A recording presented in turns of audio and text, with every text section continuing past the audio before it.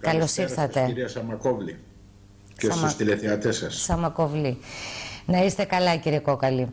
Ε, είχαμε νωρίτερα σήμερα στη Βουλή την ε, συζήτηση για την ε, Ουκρανική κρίση.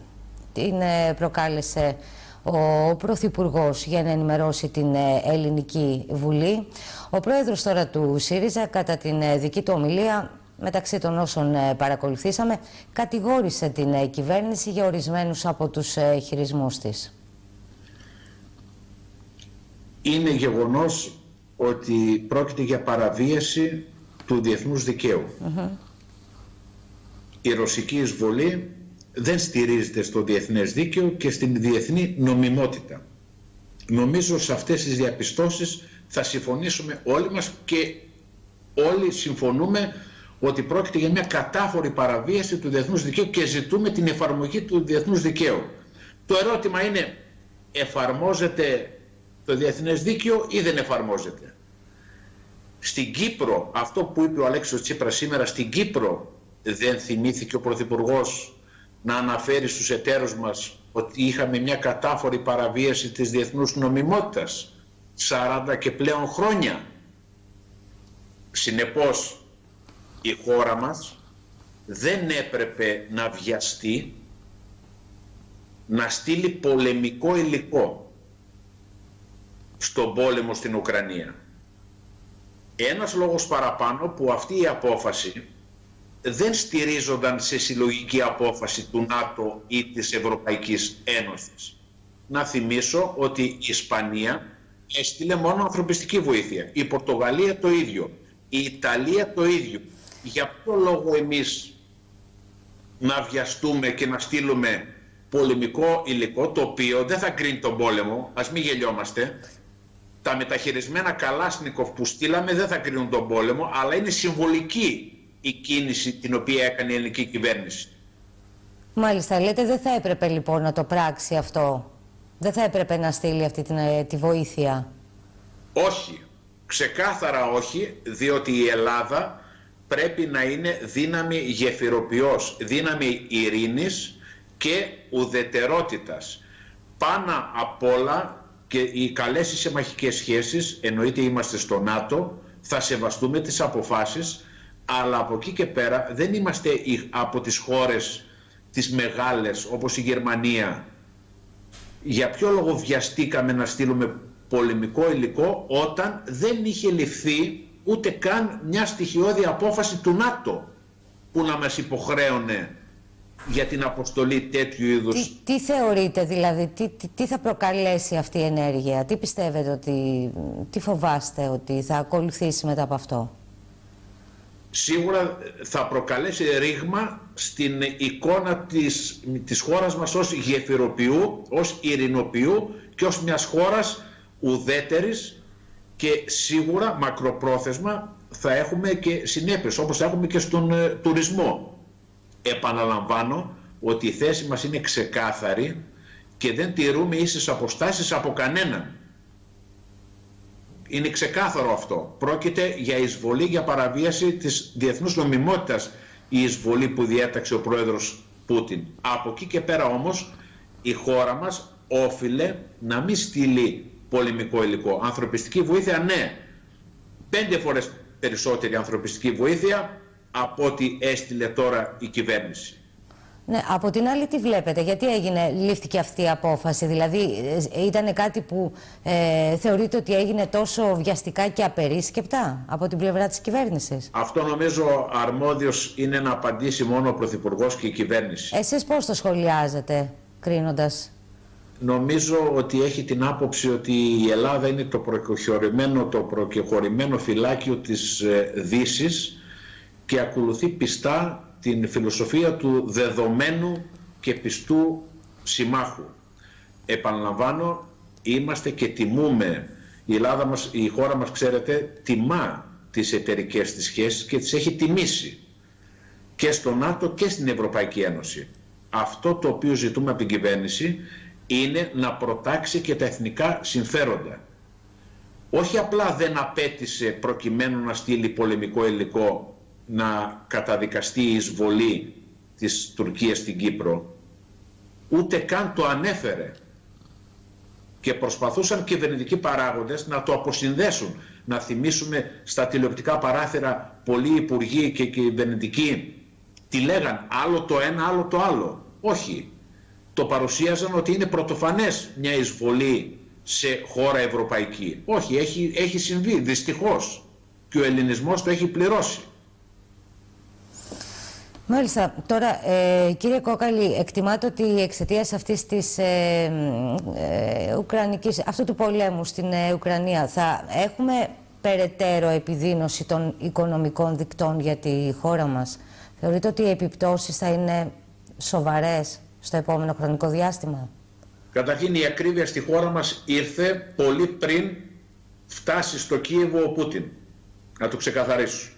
Ήδη τα νοικοκυριά στενάζουν με λογαριασμούς εξωφρενικούς και πολύ φοβάμαι ότι θα έχει και μια πιο άσχημη εξέλιξη το θέμα της ακρίβειας είτε είναι στην ενέργεια είτε είναι στα καύσιμα. Εδώ η κυβέρνηση οφείλει να πάρει ε, ριζοσπαστικές αποφάσεις. Όχι να ρίξει παράδειγμα για τα καύσιμα το μπαλάκι στους βενζινοπόλες. Πιθανό να υπάρχει και κερδοσκοπία από κάποιους βενζινοπόλες.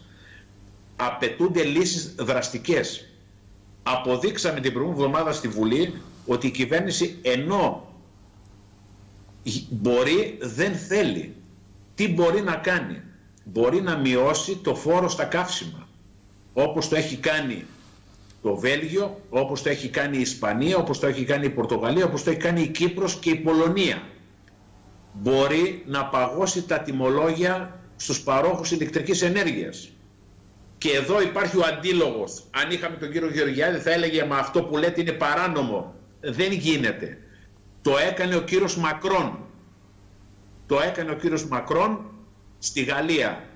Ανέστηλε προσωρινά την ε, λειτουργία του χρηματιστηρίου ενέργειας. Έτσι κάνουν οι κυβερνήσεις όταν θέλουν να προστατεύσουν τους πολίτες τους από αυτή την ακραία φτώχεια που έρχεται. Αυτά πράττουν οι κυβερνήσεις που ενδιαφέρονται για την πλειοψηφία του κοινωνικού συνόλου. Δηλαδή εσείς πιστεύετε ότι η κυβέρνηση απλά είναι παρατηρητής αυτής Ξεκάθαρα. της ενεργειακής κρίσης. Δεν δείξτε, μου, τα δείξτε μου ένα σημάδι ότι η κυβέρνηση ενδιαφέρεται σοβαρά. Ένα σημάδι, να το παραδεχτώ. Ένα σημάδι. Να σας πω κάτι. Επιδοτεί τις ανατιμήσεις μέχρι στιγμής και τις επιδοτεί με χρήματα των φορολογούμενων.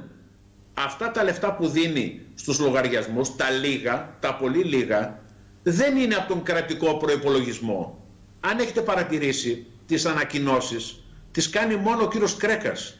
Δεν τις κάνει και ο κύριος Σταϊκούρας. Για ποιο λόγο; Διότι τα λεφτά που δίνει η κυβέρνηση προέρχονται από το λογαριασμό που έχει δημιουργηθεί υπέρ των ανανεώσιμων πηγών ενέργειας που πληρώνουμε όλοι μας στους λογαριασμούς του ρεύματος. Άρα τα παίρνει από εμά για να τα δώσει με μορφή επιδότησης στους παρόχους. Και το ερώτημα είναι, μέχρι σήμερα που μιλάμε, αυτό είναι το πιο βασικό ερώτημα. Έχουν πληγωθεί και πληγώνονται νοικοκυριά, συνταξιούχοι, αγρότες, κτηνοτρόφοι, ε, ελεύθεροι επαγγελματίες. Έχουν πληγώνονται καθημερινά. Αυτοί οι πάροχοι ηλεκτρικής ενέργειας έχουν βάλει πλάτη θα βάλουν πλάτη έστω για ένα τρίμηνο, τετράμινο να πούνε ότι προσωρινά δεν θα παίρνουμε αυτά τα κέρδη μέχρι το Μάιο, μέχρι τον Ιούνιο. Μα εδώ κύριε, κύριε Κόκαλη έχουν, έχουν ξεκινήσει οι διακοπές ηλεκτρικού ρεύματος. Δεν ξέρω αν παρακολουθήσατε νωρίτερα ε, την ε, Σοφία Κοντοθανάση να μας μεταφέρει μέσα από το ρεπορτάζ της για ένα ζευγάρι κτηνοτρόφων στη Λάρισα έχασε όλη την περιουσία του από φωτιά και σήμερα κατέβηκαν οι διακόπτες του ηλεκτρικού ρεύματος παρά το γεγονός ότι είχε ζητήσει ρύθμιση των χρεών. Κυρία Σαμακοβλή, χαίρομαι για την ερώτησή σας που αναδεικνύεται το θέμα, διότι 10 λεπτά πριν βγούμε στο δελτίο, στην εκπομπή σας, κατέθεσα ήδη αναφορά κοινοβουλευτικού ελέγχου για αυτό το ζευγάρι των κτηνοτρόφων, επειδή τη γνωρίζω την περίπτωση. Αυτοί τι έχουν πάθει; Κάει και ο στάβλος τους πριν έξι μήνες, όλος χερός, όλος χερός. Το είχαμε και παρουσιάσει και μέσα από, την, ε, και μέσα από τον Άστρα αναλυτικά αυτό το ρεπορτάζ και είχαμε σχολιάσει τη μεγάλη καταστροφή που είχαν υποστεί και το γεγονός ότι δεν μπορούν να λάβουν και αποζημίωση οι άνθρωποι αυτοί. Σωστά για και να δυστυχώς καμία βοήθεια. δεν έχουν πάρει ούτε ένα ευρώ. Ναι. Και προσπαθούσε η γυναίκα να κάνει ρύθμιση με τη ΔΕΗ, το ποσό ήταν 5.400 ευρώ και τους έδινε 1.000 ευρώ προκαταβολή και τα υπόλοιπα με δόσεις. Δεν είπε η γυναίκα να μην πληρώσει.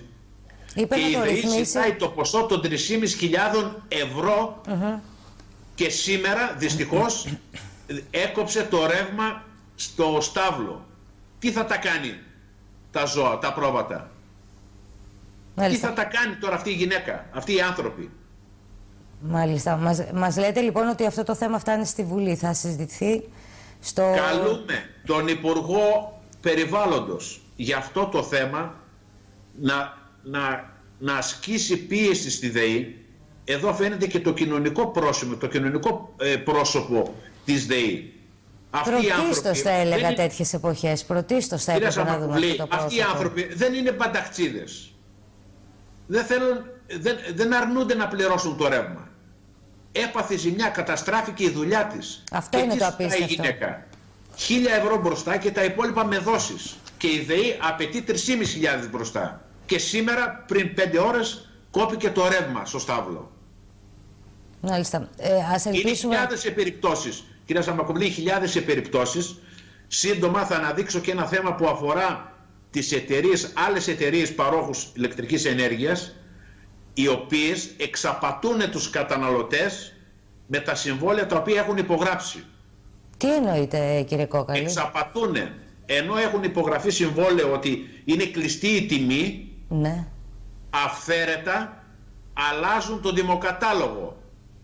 Και θα γίνει επίσημη καταγγελία και στην Επιτροπή Ανταγωνισμού και στην Ρυθμιστική Αρχή Ενέργειας. Μάλιστα. Με άλλες τιμές λοιπόν, με άλλες τιμές έχει, μας λέτε ότι οι καταναλωτές με άλλες τιμές έχουν επιλέξει αυτούς τους παρόχους και άλλες χρεώσεις έχουν στους ε, λογαριασμούς όταν τους παραλαμβάνουν. Σωστά.